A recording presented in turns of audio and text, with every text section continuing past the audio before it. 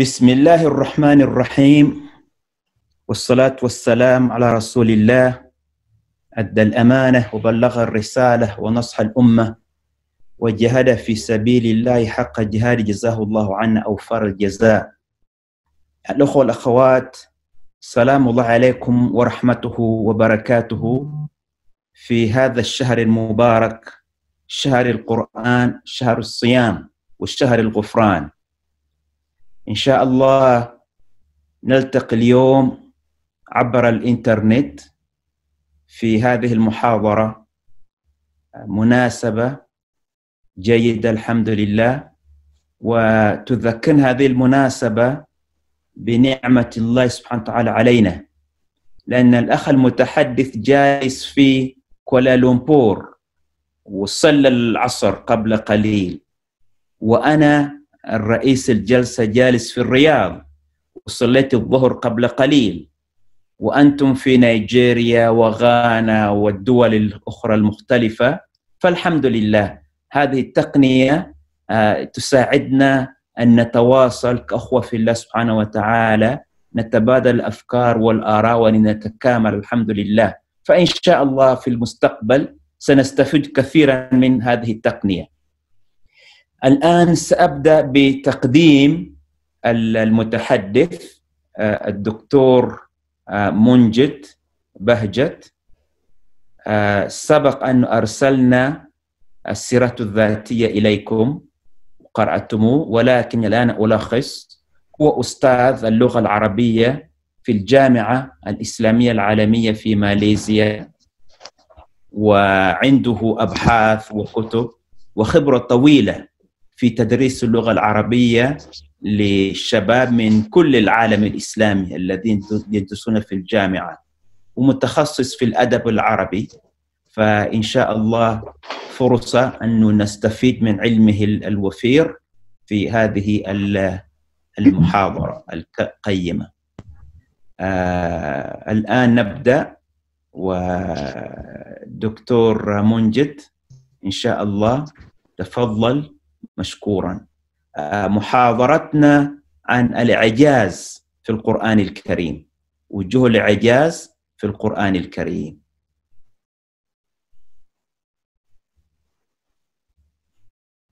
بسم الله الرحمن الرحيم. الحمد لله والصلاة والسلام على رسول الله. أخي الكريم الدكتور عمر حسن كاسولي نشكركم بمشاركتكم معنا وحضوركم هذه الندوة العلمية المباركة. نبدأ بتحميد الله. الحمد لله الذي دل على وجوده بجوده والصلاة والسلام على نبينا منار الحق وعموده وعلى آله وصحبه أجمعين. أيها الإخوة الأفاضل أيتها الأخوات الفضليات ممثلو المعهد العالمي للفكر الإسلامي في غرب أفريقيا. نحييكم بتحية الإسلام. السلام عليكم ورحمة الله وبركاته.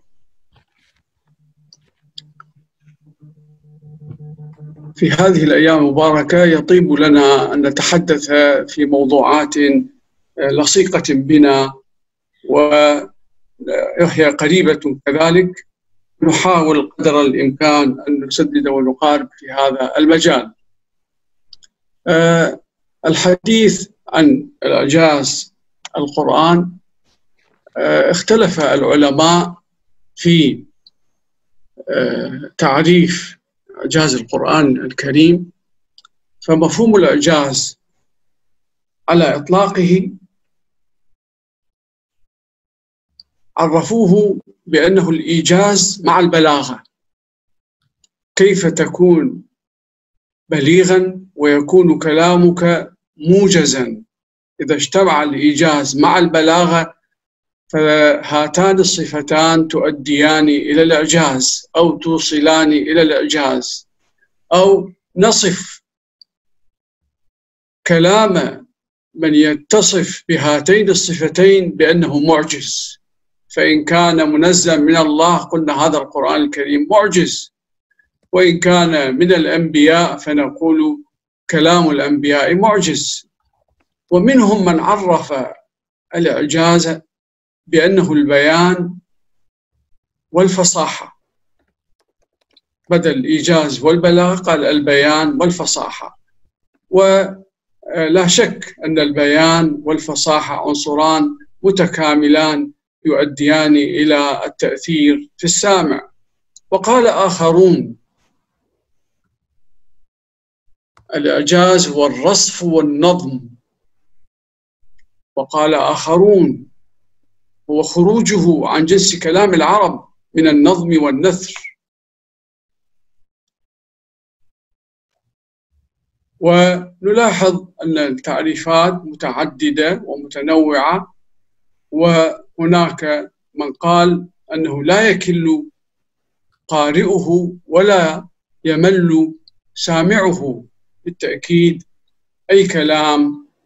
أنا الفقير الله أتحدث إليكم لو أطلت في الكلام ستملون كلامي وستكلون من حديثي لكن الكلام البليغ يشدك إليه شدا. كما نلاحظ أننا نجلس ساعات طويلة نقرأ القرآن الكريم ولا يدخل في قلوبنا السأم ولا الملل. وهناك من عرف الإعجاز بأنه الإخبار عن الأمور الماضية لأن القرآن الكريم تضمن هذا الأمر. وقال آخرون تضمنه من علم الغيب. القرآن الكريم أخبر حينما قال غلبت الروم في أدنى الأرض. وهم من بعد غلب يعني أخبر عن أمور لم تحدث أمور غيبية. وقال آخرون أن الإعجاز هو ما تقدم مما ذكرنا قبل قليل. جمعه لعلوم يطول شرحها. والزركشي يعلق فيقول أهل التحقيق على أن الإعجاز وقع بجميع ما سبق من الأقوال. ومن وجوه إعجاز الروعة في قلوب السامعين الروعة يعني الخوف. والإعجاب وأسماعهم وأنه يجمع بين صفتي الجزالة والعذوبة طبعا هاتان الصفتان متناقضتان فلا يجوز أن نصف كلاما أو جملة بأنها آه، فيها جزالة وعذوبة إنما جزالة مكملة للعذوبة نعم. ثم استغناء عن الكتب الأخرى وذكر 12 وجها هذا من الزركشي صاحب البرهان في علوم القرآن. ومن المعاصرين أستاذي الدكتور فاضل السامرائي ذكر أنه طلب منه أن يسمي كتابه إعجاز القرآن فقال لا أنا لا أستطيع ليس من اليسير على آه، أحدنا أن يؤلف في إعجاز القرآن الكريم هذا من باب التواضع. فقال ولكنه عرف الإعجاز وقال أنه أمر متعدد النواحي متشعب الاتجاهات ومن المتعذر متعذر أن ينهض لبيان الإعجاز في القرآن شخص واحد ولا حتى جماعة. والتعريف طويل لكن اقتصرنا على آه، هذا الجزء. ثم نأتي إلى الإعجاز لغة. فإذا أخذنا الفعل الثلاثي عجز فهي تدل على التأخر عن الشيء والقصور. وهو هذه الكلمة ضد القدرة ضد القدرة. وأعجزت فلانا وعجزته وعاجزته جعلته عاجزا. أما أعجز بزيادة الهمزة نلاحظ أن سر من أسرار اللغة العربية أن المعنى ينقلب يصبح العكس. كما تقول عجم وأعجم. إذا وصفت واحدا فقلت لسانه عجمي أي غامض غير واضح. لكن إذا قلت أعجمت الكتاب بمعنى أوضحته وكذلك عجز وأعجز فهو فعل فعل متعد بالهمزة التي تفيد السلب أي تفيد آه، سلب صفة العجز الضعف. نعم. فتصبح أزال الضعف. وبهذا المعنى جاء القرآن الكريم وقال وما أنتم بمعجزين. أي أننا بشر لا نستطيع أن نعجز الله في كتابه. فكلمة إعجاز إذن هي مصدر أعجز ومعجز اسم الفاعل ولحقته التاء من الوصفية إلى الاسمية. الإعجاز اللغوي اصطلاحا أيضا نلاحظ دائما المعنى الاصطلاحي يرتبط بالمعنى اللغوي. ف آه، حينما نقول عجز البشر أن يأتوا بمثل القرآن في الفصاحة والغرابة والتصرف والمعاني اللطيفة نعم فهذا هو المعنى الاصطلاحي. أو هناك تعريف آخر أنها أمر خارق للعادة مقرون بالتحدي سالم من المعارضة. يعني القرآن تحدى العرب بأن يأتوا وكانت معجزة الرسول عليه الصلاة والسلام هي القرآن. نلاحظ معجزات الأنبياء متنوعة لكن الله اختار لدين الإسلام لنبينا أن يكون أن تكون معجزته القرآن. فالتحدي شرط من شروط إعجاز القرآن وثمرة له. والقدماء لم يستخدموا كلمة الإعجاز إلا في عصور متأخرة كما سيأتينا في القرن الثالث والرابع ولكن أطلقوا كلمة الآيات. والآية في واحد من معانيها تعني المعجزة ومن مرادفاتها البينة والبينات والبرهان حيث لم يكن شائع استخدام. نعم. وأنا أردفت كل مقولة آه، بالكتب السيوطي وعدنان زرزور ومناع القطان نعم. ونلاحظ آه، أنواع الإعجاز الإعجاز العلمي. ونجد ناس أناسا متخصصين. أنا أذكر استمعت مرة إلى طبيب يتحدث عن وجوه الإعجاز الطبي في القرآن الكريم. الفلكي الإشارات الفلكية وبالنجم هم يهتدون مثلا العددي يعني أنا لا أميل إلى الإعجاز العددي لكن الفلكي والطبي لا أشك فيه. ثم الإعجاز فيما يتعلق بالعقيدة وكيف جاء الإسلام بدعوة التوحيد والتشريع كيف شرع للمسلمين آه، نظاما آه، ورجال القانون يقفون مذهولين أمام التشريعات التي جاءت في القرآن الكريم. على سبيل المثال آه، آية الميراث في سورة النساء. يعني هي حوالي نصف صفحة لكن الغرب أو العلماء المتخصصون بالقوانين يقفون مذهولين أمام هذه البلاغة وكيف أنه استوعب كل حالات القرابة في الاعجاز ولكن حديثا حديثنا آه، سيتوقف عند الإعجاز اللغوي والبياني بحكم تخصصي باللغة العربية. نلاحظ الآيات التي جاءت في سياق التحدي كم آية تجدون على الشاشة؟ آه، اثنان ثلاثة أربعة خمسة نعم خمس آيات آه، نلاحظ فيها التدرج ولكني لم أستقصي تاريخ النزول لأن هناك كتب عنيت بتاريخ النزول وحاولت أن تضع تاريخا لكل سورة أو لكل آية. فأول آه، تحدي كان بصيغة تحدي الإنس والجن. لم يتحدى الله سبحانه وتعالى الإنس فقط. فهذا إمعانا في التحدي إمعانا في التحدي. لم يقل لأن اجتمعتم نعم. ثم قوله ولو كان بعضهم لبعض ظهيرا. هناك فائدة لغوية أن بعض دائما في القرآن الكريم تأتي بدون التعريف. دائما تأتي نكرة وإذا عرفت فإنها تعرف بالإضافة. أما لا يوجد وفي أساليبنا نقول وقال البعض للبعض هذا هذا من الأخطاء الشائعة في أساليبنا. هذه فائدة. نعم. نعود إلى ظهيرة أيضا كلمة بليغة. لأن الظهير هو أن يجعل الرجل ظهره إلى ظهر صاحبه. فإذا خرج في الصحراء لم يستطع عدو من التمكن منهما. عادة لا يخرج فردا دائما يخرجون اثنين فأكثر. فإذا ظهيرة أن تضع ظهرك لظهر صاحبك. ثم الآية الأخرى بعشر سور مثله مفتريات. لاحظ مثله لأنها نعت للسورة. فت يعني آه، بدل أن يطلب أن يأتوا بقرآن كامل اكتفى بعشر سور. وادعوا من استطعتم.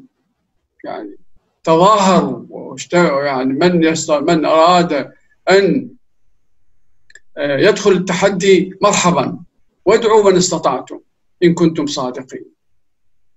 ثم المستوى الثالث الإسراء هود الآن يونس أم يقولون افتراه؟ قل فأتوا بسورة مثله.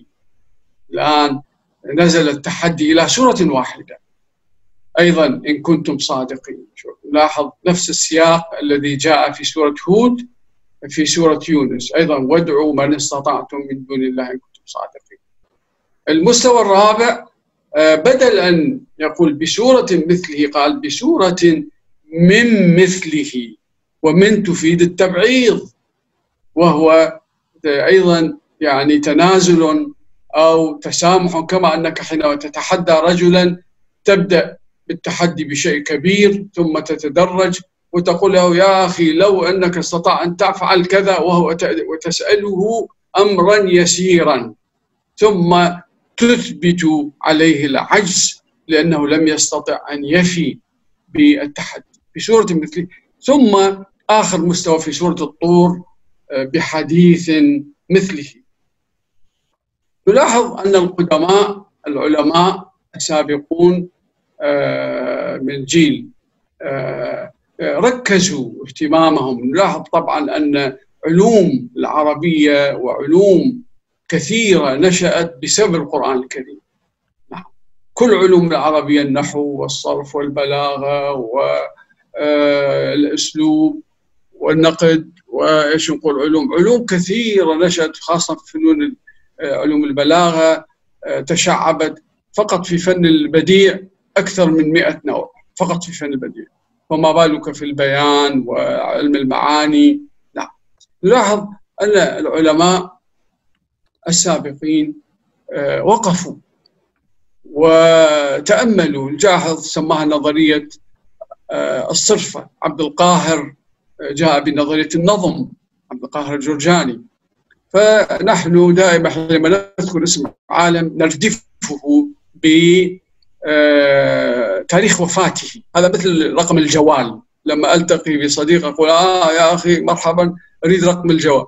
رقم الجوال للعالم هو تاريخ وفاته ليش؟ لأننا نستطيع أن نعرف متى عاش ففي القرنين الثالث والرابع نجد الجاحظ في يعني حتى في الحيوان تناول قضايا تتعلق بالاعجاز وفي البيان والتبيين وكتب أخرى. الرماني عنده رسالة في الاعجاز، الخطابي ثلاث رسائل في الاعجاز، الباقلاني أيضا مشهور ونلاحظ كيف أن تطورت آه، علم أو الحديث عن الإعجاز آه، لدى هؤلاء. كل يأتي فيستفيد من سابقه. في القرن الخامس والسادس نجد آه، الإمام عبد القاهر الجزان في أسرار البلاغة وفي إعجاز القرآن له كتابان نفيسان. القرن الخامس القاضي عياض القرن السادس الإمام الرازي وهو عالم ينسب إلى مدرسة العقل في تفسيره مفاتيح أظن مفاتيح الغيب تقريبا اسم تفسيره. في القرن السابع استمر السخاوي ثم الزملكاني ثم ابن أبي الإصبع نعم صاحب بديع القرآن والقرطبي أيضا يدخل وهو من العلماء الكبار وله تفسير معروف. ثم في القرن الثامن والعاشر يحيى العلوي صاحب كتاب الطراز والزركشي صاحب البرهان والسيوطي له أيضا مؤلفات كثيرة. هذا عند العلماء باختصار الأحاديث التي وصفت القرآن الكريم نلاحظ آه أنها آه يعني أحاديث كثيرة في وصف لكن هذا أشهر حديث وإن كان بعض الكتب تصنيف الحديث ولا سيما هناك موقع في النت اسمه الدرر السنية. إذا كان عندك أي حديث تريد أن تعرف آه، آه، يعني درجة صحة الحديث أو آه، تتعرف على تصنيف الحديث وفق ما هو معروف في علوم الحديث تدخل الدرة السنية وهو يعني كتاب على حد علمي لحد الآن مقبول لم يطعن به المتخصص فيصف القرآن الكريم بأنه مأدبة الله فاقبلوا مأدبته ما استطعتم. ثم يصفه بأنه النور المبين والشفاء النافع وأنه عصمة لمن تمسك به ونجاة لمن اتبعه. ولا يعوج فيقوم. يعني ولو كان من عند غير الله لوجدوا فيه اختلافا كثيرا. يعني على امتداد العصور والقرون لم يستطع البلغاء آه، أن آه، يجدوا آه، أي خلل أو نقص نعم مع وجود الوهم لدى البعض من أن القرآن الكريم في بعض آياته خالف أحكام النحو فالمتخصصون ردوا على ذلك بل قالوا أن هذه الأساليب هي أعلى مستوى في الأسلوب. نعم ولا يزيغ فيستعتب ولا تنقضي عجائبه. ولا يخلق على كثرة الرد. هذه أيضا وصف بليغ آه، أن كل شيء تستعمله مآله القدم يخلق. مثل الملابس نلبسها بعد سنين ندعها نلبس غير لكن القرآن الكريم على امتداد العصور نجد آه، متعة ولذة وفعلا حسنا حينما نقرأ ونحن في شهر القرآن الكريم حيث عارض جبريل الرسول عليه الصلاة والسلام في هذا الشهر المبارك مرتين فعلم بدنو أجله. في العادة كان يعارضه مرة في العام لكن في هذا في شهر رمضان وفي السنة الأخيرة عارضه مرتين أي كان يستمع وسورة القيامة تشير إلى هذا الأمر. وفيه خبر ما قبلكم ونبأ ما بعدكم وحكم ما بينكم. لاحظ آه هذا الحديث آه ناخذ الآن الأمثلة. الحديث طبعا عنوان المحاضرة من وجوه الأعجاز في القرآن الكريم. أنا لا أستطيع هذا هذه المحاضرة في نصف ساعة ممكن تكون مدخلا للحديث عن إعجاز القرآن. أما أن أفي بوجوه الإعجاز لا هذا آه، يخرج عن طاقتي. وربما لا يستطيع أحد آه، مع كثرة المؤلفات التي ألفت في هذا السياق. ناخذ العلماء لكي يبينوا بلاغة القرآن الكريم. أخذوا يعني هذا الجانب البلاغي والجانب اللغوي سورة هي أقصر سورة أو أصغر سورة. نعم. تلاحظون السورة الآن مكتوبة امامك ثلاث آيات فقط. ثلاث آيات. إنا أعطيناك الكوثر. صل ربك وانحر. إن شانك هو هذه الآيات عدد الكلمات عشر كلمات فقط والحروف 47 حرفا. جاء العلماء نظروا فيها وما قبلها وما بعدها فاستنبطوا يعني فنونا وجوها بلاغية. الرازي كان من أوائل من وقف فاستنبط يعني هدي وصل بلغ 22 وجها بلاغيا. ومحمد عبد التواب وجد تسعة آه، وثلاثين وجها بلاغيا من المتأخرين يعني من علماء آه، الأزهر. نعم. ثم جاء باحث كان يعمل في الإمارات واطلعت على بحثه فاكتشف واحدا وستين وجها لكن 33 وجه بلاغي و28 وجه دلالي. في هذه الآيات القصيرة. طبعا هناك بحوث أخرى في هذا السياق. ننتقل من أقصر سورة إلى آية واحدة. آية واحدة وقف العلماء ابن أبي الأصبع والآلوسي عند آية من سورة هود. كما تلاحظون هي الآية رقم 44 وقيل يا أرض ابلعي ماك وهي في سياق الحديث عن الطوفان. الطوفان الذي آه، كان في عهد نوح وسجله القرآن الكريم. نعم. آه، فهذه الآية أيها الإخوة والأخوات وجد فيها ابن أبي الإصبع عشرين وجها بلاغيا في كتابه بديع القرآن لكن لم أشر إلى الصفحة. والآلوسي نقل عن شيخه مئة وخمسين وجها بلاغيا في كتاب روح المعاني. طيب. الآية الأخرى الله ولي الذين آمنوا. يخرجهم من الظلمات إلى النور. هذه في البقرة وهي آية واحدة كذلك. السيوطي نظر فيها فقال قررت فيها بضعة عشر نوعا. يعني خلينا نقول بالبضع عشرة آه، فأكثر نعم فأدنى من من واحد إلى عشرة يعني ثم آه، آه، قلت ثم وقع التأمل فيها. أول شيء يعني طبعا طباق والجناس والكذا كما تعلمون. نعم. أسلوب الحكيم بعد الفصل والوصل الالتفات المقابلة. طيب.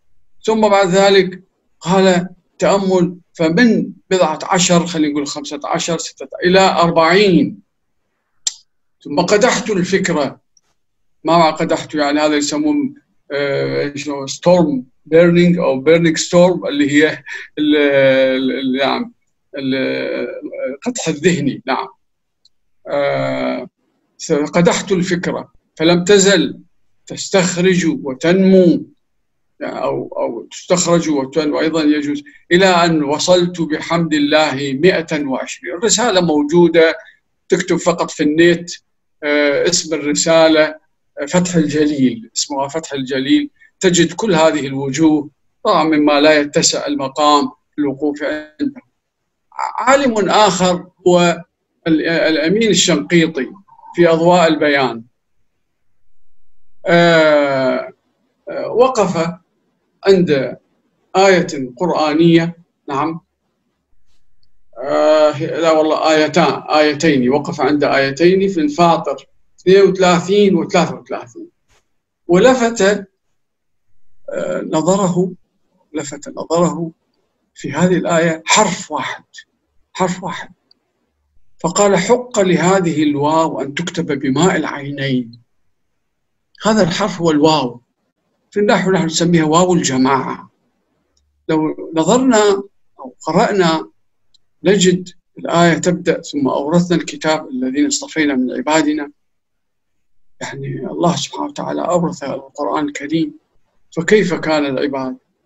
ثلاثة أصناف. فمنهم ظالم لنفسه. هذا هو الأكثر. ومنهم مقتصد صار أقل. والأقل القليل ومنهم سابق بالخيرات بإذن الله. فصار ثلاثة أصناف. ثم عقب بعد ذلك فقال ذلك هو الفضل كبير جنات عدن. ثم قال يدخلونها. هذه الواو لفتت نظر العلامة الشنقيطي في أضواء البيان الجزء السادس 183 يحلون فيها بأسار من ذهب ولؤلؤ ولباسهم فيها. ما الذي استرعى انتباه أن هذه الأصناف الثلاثة بسبب هذه الواو كلهم بإذن الله يدخل الجنة؟ ولكن طبعا لكل واحد كما تعلمون الجنة درجات والنار دركات. نعم كل واحد له مستوى مختلف عن الآخر. آه لاحظ دقة التعبير القرآني. كيف أن القرآن الكريم اعتمد على إيراد صفات في حياة العربي موجودة هذه الصفات. فمثلا كلمة القطمير ونحن في العادة المسلمون يفطرون على آه، أكل تميرات. دائما من السنة أن تفطر على التمر. لاحظ في الصورة آه، جزاه الله خير وجدت هذه الصورة في الإنترنت فوجدتها وافية بالغرض حتى يكون الكلام مشفوعا بالصورة. لاحظوا النواة كأنها مغلفة بورق السيلوفين كما اليوم يعملون للشوكليت والكذا. سبحان الله هذه الورقة طبيعية تأتي لا لابد مع كل تمرة أن تجد القطمير وأن تجد الفتيل. وأن تجد النقير. كم وزن هذا القطمير؟ شوف ذلكم الله ربكم. والذين له الملك الذي تدعون من دوني ما يملكون من قطمير. أنا لا أحسن يعني هذا جزء من أعشار الغرام.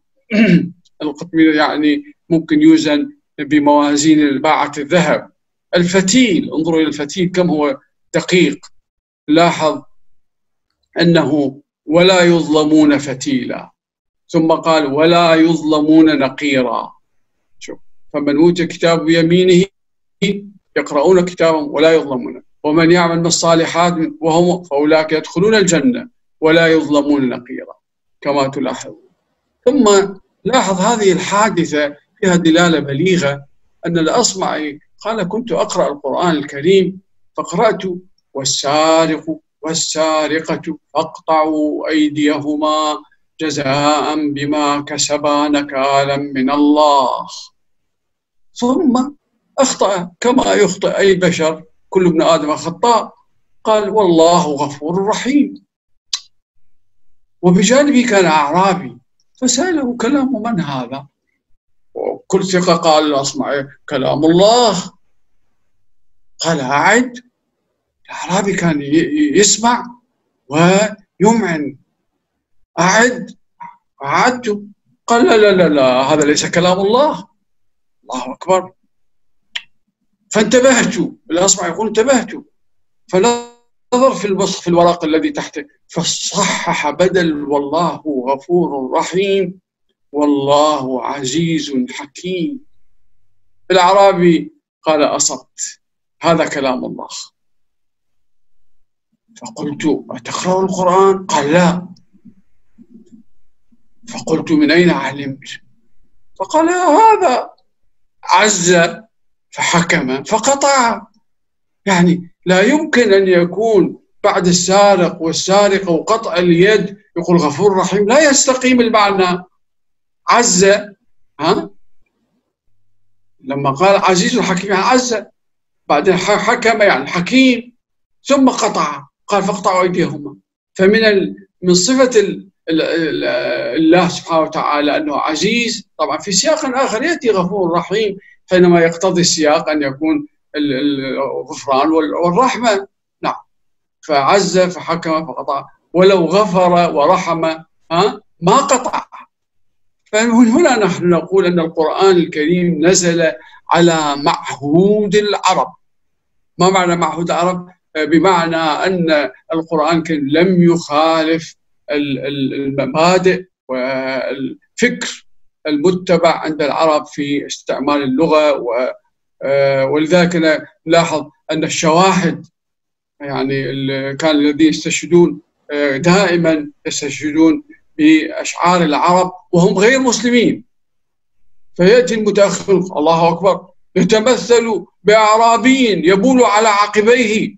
يستنكرون ويرفض الحديث النبوي لماذا كانوا يرفضون؟ لأن الحديث كان يروى بالمعنى فلم يكن محافظا على بلاغة كلام العرب الذي هو لغة ومعنى.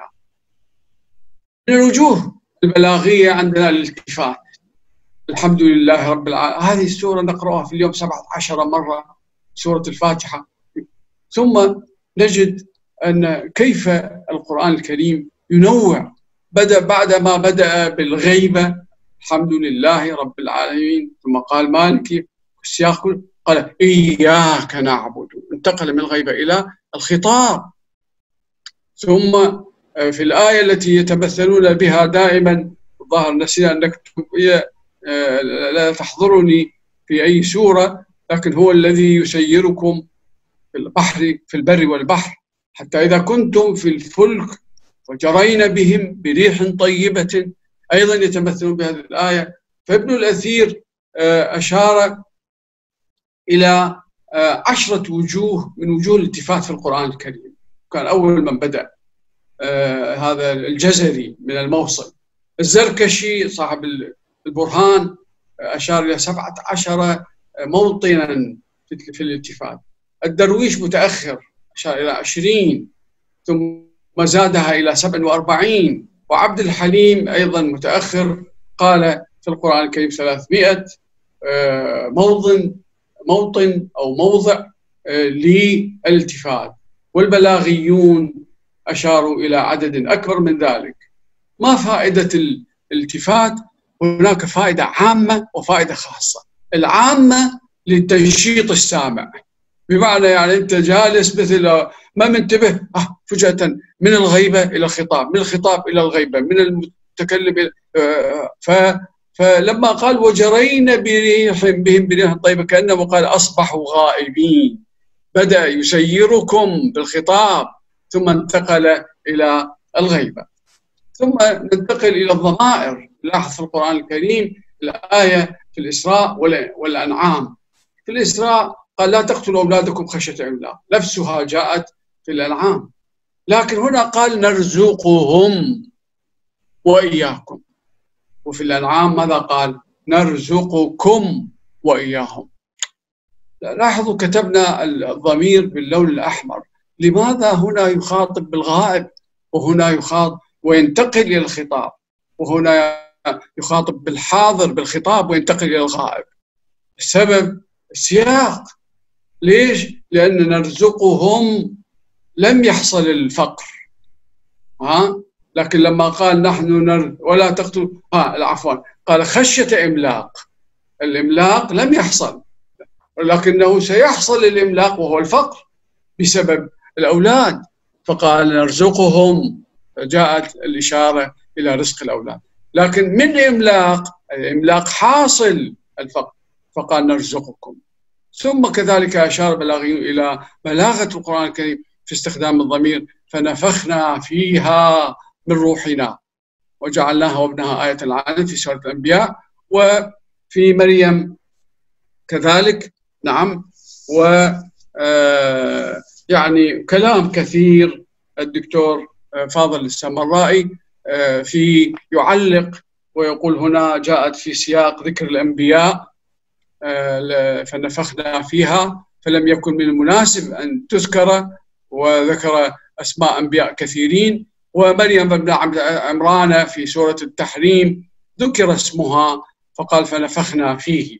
طبعا فيها الإشارة إلى مريم فيه الإشارة إلى الفرد ونلاحظ السياق بشكل عام. ثم الجملة الفعلية والجملة الاسمية. القرآن الكريم مرة يعبر بالجملة الفعلية آه، لاحظ في سورة الحجر قال ادخلوا. آه، عفوا إذ دخلوا عليه فقالوا. أي الملائكة الذين دخلوا. ماذا قالوا؟ سلاما. هنا لم يجب إبراهيم على سلامهم قال إنا منكم وجلون لأن شاف صورهم مختلفة. لا يشبهون آه، الرجال وإن كان جاوب بصوره رجال. لكن في سورة الذاريات دخلوا فقالوا سلاما. فماذا قال؟ قال سلام. الجملة الأولى جملة فعلية وهي تدل على التغير والتبدل. سلام تدل على الثبات الجمله الإسمية. قال قوم منكرون. فقالوا الجواب إبراهيم كان أبلغ من جواب آه، من تحية آه، الملائكة. كما جاء في آية أخرى وإذا حييتم بتحية فحيوا بأحسن منها أو ردوها. ثم آية الأنفال وآية القصص. أيضا الدكتور فاضل لفت الانتباه إلى أن آية الأنفال آه، سياقها كان أن الله سيصرف العذاب وهم يستغفرون ولم يقل وهم مستغفرون. استخدم الفعل فهو يريد أن الله يرفع عنهم العذاب حتى ولو لم يكن الاستغفار صفة ثابتة لهم. يريد أن يرفع فقال استخدم أسلوب الجملة الفعلية. ثم وما كنا مهلكي القرى إلا وأهلها ظالمون. ولم يقل وأهلها يظلمون. نعم. ونلاحظ أن هذا من رحمته الواسعة ولذلك استخدم الجملة الاسمية. كذلك شواهد أخرى أعلق عليها فقط لاحظ السياق في سورة الإسراء قال لئن اجتمعت الإنس والجن. وقد قرأنا هذه الآية قبل قليل في سياق التحدي. نعم. لكن لما انتقل للرحمن قال يا معشر الجن والإنس. لاحظ المره الأولى قدم الإنس لأن المراد بالتحدي هو للإنس أن يأتوا بمثل القرآن. لكن لما أراد أن يتحدى أقطار السماوات والأرض قال الجن حتى قدم الجن. فالتقديم والتأخير هذا يدخل في علم المعاني وله بلاغته كذلك نلاحظ في آية الأنعام 99 والآية 141 مشتبها إذا أصلها اشتبه يشتبه. لكن متشابها تشابه يتشابه. فالفرق بين الآيتين كالفرق بين الخاص والعام. أن سياق الآية لو عدنا إلى الآية في القرآن الكريم سنجد أن في العام 99 ذكر أنواعا كثيرة من الفاكهة والأشجار والنعم فهذه أدعى إلى حصول الاشتباه. وبينما في الآية 141 لا حصول التشابه فالاشتباه هو أشد من التشابه. الزانية والزاني فاجلدوا في سورة النور. لاحظ قدم الزانية على الزاني. لأن الزنا أركز أو أكثر أو آه، المرأة أقرب إلى الوقوع في هذه الخطيئة. وفي المائدة قدم السارق على السارقة لأن السرقة عادة ما يقوم بها الذكور. لاحظ قدم المؤنث على المذكر. ثم نلاحظ آه، الفرق بين ثم وثم. ثم حرف عطف حروف العطف في النحو الواو والفاء وثم. وفرق. قالوا الواو مطلق العطف الفاء العطف مع الترتيب ثم العطف مع الترتيب والتراخي. ولكن وإذا رأيت ثم رأيت نعيما وملكا كبيرا. آه ثم معنى هناك ليس فقط آه يعني الحركة تغيرت تغير المعنى. كذلك استطاعوا واستطاعوا. كل زيادة في المبنى زيادة في المعنى. هذه أيضا قاعدة آه، في النحو. فاستطاعوا الجهد أكبر لأن كانوا يثقبون في الحديد والصخر والنحاس وكذا بينما يظهروه تسلق كانوا يتسلقون. نعم.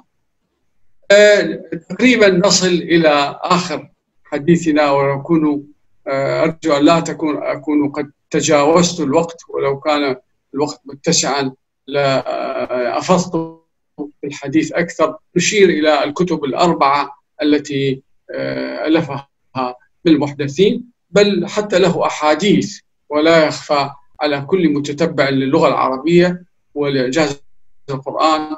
الحديث آه، في أحد القنوات الفضائية لمسات بيانية. وكان لي شرف التتلمذ على الدكتور فاضل وهو يزال على قيد الحياة.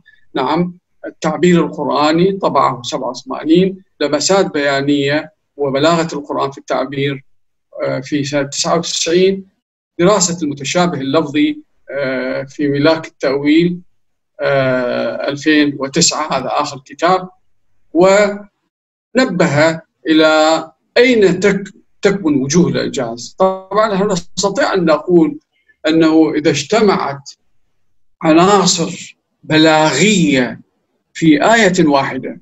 كانت هذه العناصر دلالة وآية وسمة على الإعجاز. لكن هو وقف عند الإعجاز في البنية بناء الجملة ثم انتقل إلى التقديم والتأخير ثم الذكر والحذف ثم التوكيد ثم التشابه والاختلاف وفواصل الآي والسمة التعبيرية والحشد الفني في القصص القرآني كل هذه الوجوه نعم آه، تناولها في كتابه وأرجو أن تتاح لكم الفرصة للاطلاع على هذا الكتاب. آه، لا يفوتني أن أشير إلى أن استفدت من كتاب إعجاز اسمه مكتبة من مكتبة أيضا استخدم من للتبعيض للدكتور مجاهد مصطفى بهجت وقد استطاع أن يجمع 120 كتابا في إعجاز القرآن اللغوي آه، والحضاري والحضاري. وعنده أظن كتاب آخر في الحضاري. نعم فرق بين الكتابين. واستفدت من لمسات بيانية للدكتور فاضل السامرائي نعم فلهما مني الشكر. كما أشكر المعهد العالمي للفكر الإسلامي تحتي هذه الفرصة وأشكركم لحسن المتابعة. أقول قولي هذا وأستغفر الله لي ولكم. والسلام عليكم ورحمة الله وبركاته. آه نشكر للدكتور الأستاذ آه منجد مصطفى بهجت على هذه المحاضرة القيمة. هناك وجوه من بلاغة القرآن وإعجازه. آه أنا أول مرة أسمعها ونشكره كثيرا على كل ما قدم. الله يجزيه كل خير.